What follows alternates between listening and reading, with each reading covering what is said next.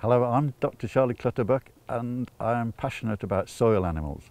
And one of the reasons I'm passionate about soil animals is that they are absolutely crucial in maintaining plant health. They evolve with plants and they keep plants healthy. I am a soil zoologist, which means I study the creatures, not the worms, the little ones between worms and fungi. And these are mainly things called springtails, my favourite creatures, the Oribatid mites. And everybody just tends to A, ignore them, you know, have you seen a springtail or an Oribatid mite? No. But What I'm really trying to get at is trying to separate out the roles of each of these creatures, because everybody thinks, oh, they somehow break down the debris and somehow life comes back.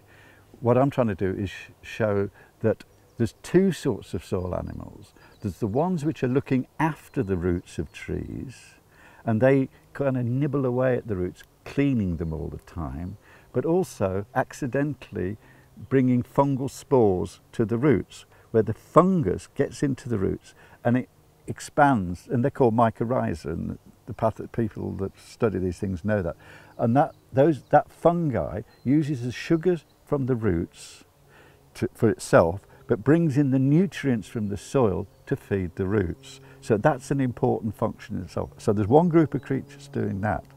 The other lot are looking after the leaves which fall from the trees in, in the autumn.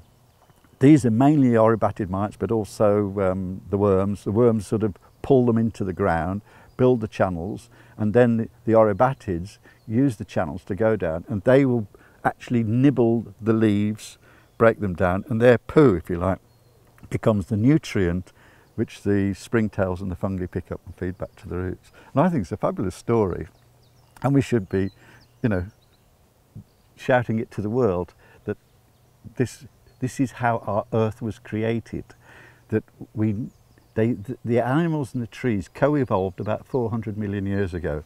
Before that, it was just rock, silt and sludge you know, span off. Now we call it the earth. We characterize our planet by this soil. And yet few people seem to understand that the soil animals and the trees evolved together about 400 million years ago.